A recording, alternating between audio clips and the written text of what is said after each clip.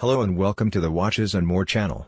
Today's topic is the Casio G-Shock watch, and its life-saving capabilities. First a little background. The Casio G-Shock was first introduced in 1983. The name G-Shock comes from the watch's ability to withstand rough handling and extreme conditions, thanks to its shock-resistant construction. The G-Shock was developed by Casio engineer Kikuo Ibe, who was inspired by a childhood incident in which he dropped and broke his father's watch. Ibe set out to create a watch that was not only rugged and durable, but also accurate and reliable. One of the key features of the G-Shock is its durability. The watches are built with a tough resin case and a rubber strap, and are resistant to water, dust, and impact. Many G-Shocks are also equipped with a solar-powered battery, so they can be charged by exposure to sunlight.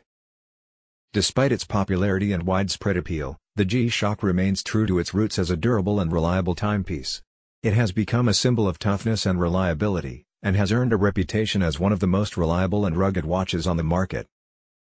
But as it turns out, G-Shock watches have also played a crucial role in helping people get out of very difficult or dangerous situations.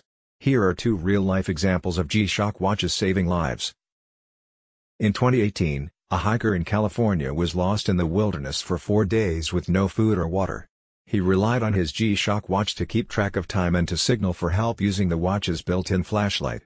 Thanks to his G-Shock, he was eventually rescued and made a full recovery.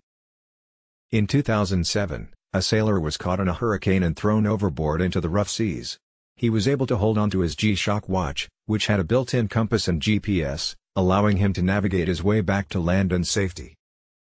As these stories demonstrate, G-Shock watches are more than just tough and durable timepieces. They have the added capability of helping people get out of dangerous situations and potentially saving lives. Thanks for watching, and don't forget to like and subscribe to the Watches and More channel for more watch-related content. See you all next time.